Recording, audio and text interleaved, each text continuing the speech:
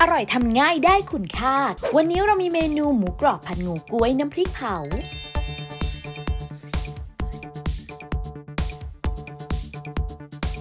เริ่มจากใส่น้ำมันถั่วเหลืองตรามรกตลงในภาชนะนำขึ้นตั้งไฟพอร้อน ใส่กระเทียมสับผัดจนมีกลิ่นหอม เติมน้ำ ปรุงรสด้วยน้ำพริกเผา